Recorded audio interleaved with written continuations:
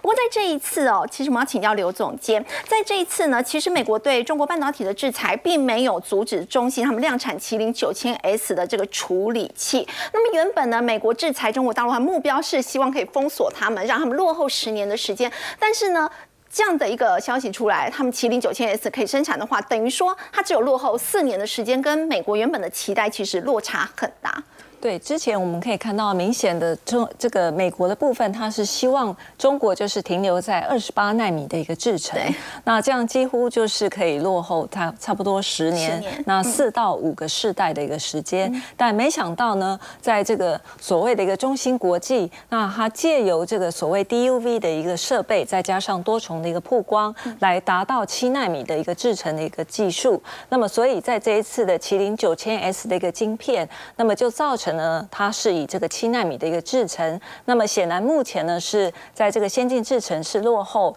那目前像是台积电生产的三纳米制程，大概是只有五纳米跟三纳米这两个世代，那大概是四年的一个时间。所以我想这个就是这一次美国呢稍微比较紧张的一个时候。那目前呢，美国呢，我相信它未来中长期还是希望呢。将中国呢是把它困在这个晶片的一个晶备的一个军赛竞赛当中呢，希望还是能够有落后十年的一个时间，所以未来势必会加大它的一个管制的力道。那但是另一方面，其实在中国，它其实也会比较担心哦，就是说在这个先进制程方面的一些开发，那越来在这个取得这个 EUV 的一个设备，当然现在其实可能性已经是非常低了，难获得了。在这个爱斯摩已经是禁止出售了。那但是现在未来，就是要看有关于在 DUV 呃这个部分的一些设备，它未来的一些维修，那以及在相关的一些服务，是不是还能够获得艾斯摩尔相关的一个资助？那个可能在这个部分还是有待观察。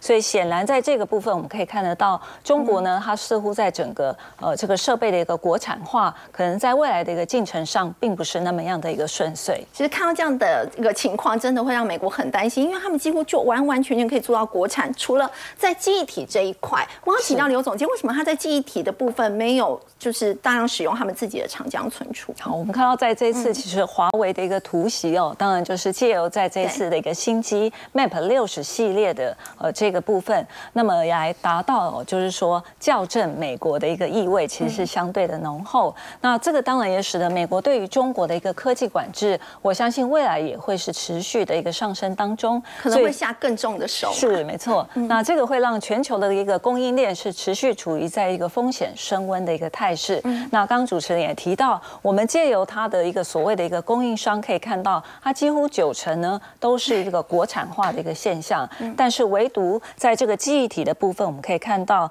那么这个目前算是在中国半导体发展环节当中，像是相对是比较这个落后的一个一环哦。我们可以看到，它虽然是采用这个 SK 海力士哦，不过在南韩的一个业者也是。极力的在喊冤哦，他们并没有直接供货给予中芯国际，因为在这个部分其实是禁止的，所以也等同说，在华为其实这一次呢是用迂回的一个采购方式，也就是说它是借由其他的一些管道来取得这个 SK 拿到来拿到 SK 海力士这样的一个这个产品哦。那为什么不用国产的？也就是说，目前中国正在发展的记忆体，包括了长江存储以及长芯存储的这个部分，那。那分别代表的是 NAND Flash 以及在低润的一个产品哦。那最主要其实在量跟值的一个部分都比较没有办法吻合华为目前的一个需求。那么就量能的部分，其实现在现阶段他们的一个量产的规模还是相对的比较小，而且目前供应中国大概还是以消费型的电子产品是为主的。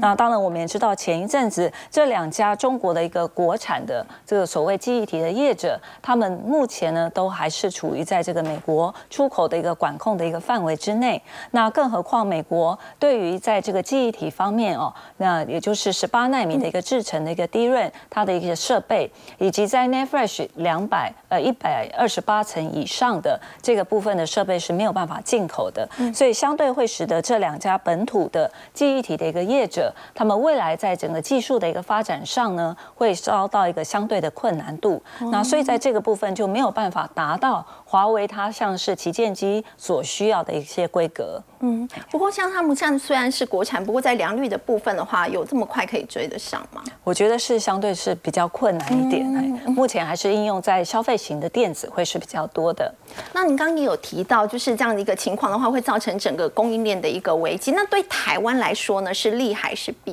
呢？好，那我们首先先来看，在这一次呢，哦，华为推出的一个新机，的确对于整个半导体的供应链会带来它的一个蝴蝶效应。那本身对于中国来讲，那当然中国这次其实在华为的一个销售呢，当然说这次是所谓蒸汽机或者是哦这个爱国机的部分销售是非常好。那而且趁势呢，在中国官方这次也推出了三千亿的这个人民币的一个大基金哦，希望能够哦这个急起直追哦。美国也会全盘的去检讨，究竟过去在这几年来对于中国的管制到底哪里出现了漏洞跟不全的一个地方，还让他们可以做得出来？是，所以在未来势必呢，这个华为的一个逆袭的动作会引来美方更大的一个力道的一个管控，以及在这个范围的管制也可能会过扩大。那对于台湾来讲，我觉得对于供应链目前看起来是。弊多于利的一个状况。我们举一个在这个晶圆代工的一个例子。那么，如果现在我们看到，就是说美中国呢对于美国的一个反制，也就是说